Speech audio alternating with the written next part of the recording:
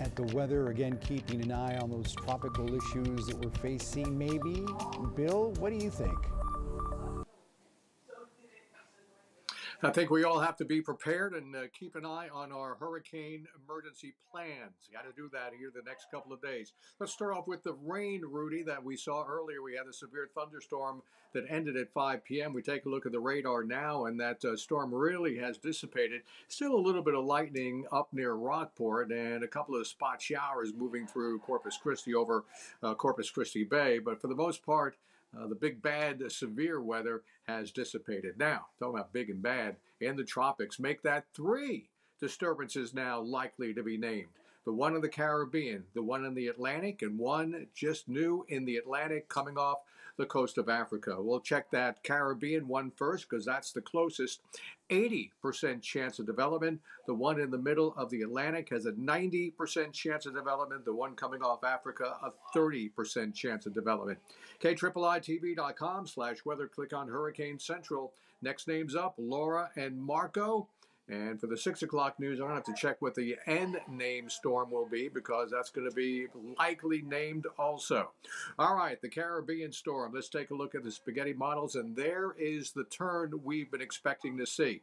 The question continues to be where will this make landfall? This is going to be a depression or a storm, but landfall could be anywhere from Mexico to Florida. So lots of questions still to be answered on this. And if it does come this way, we'll start seeing effects on Sunday. But again, there's still lots of time and lots of questions to be answered.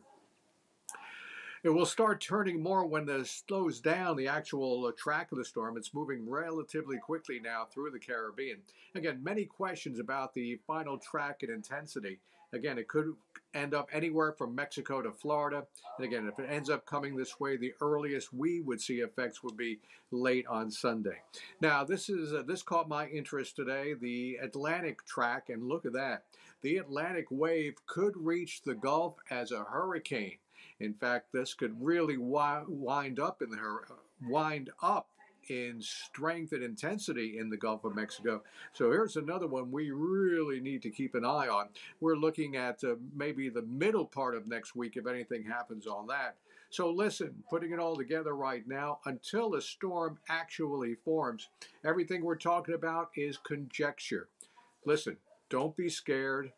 Got to be aware. We're in hurricane season. We've been through these already, and you have to be prepared. So now is the time, if you haven't already, to review your hurricane emergency plan. A live picture from the Lexcam 90 right now. The high today 99. That's the hottest this year.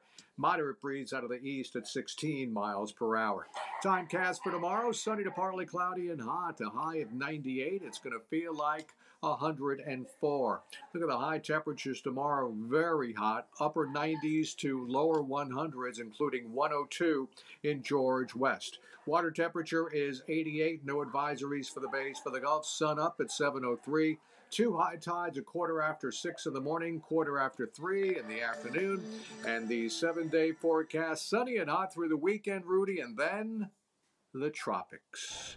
Updated 6, back to you.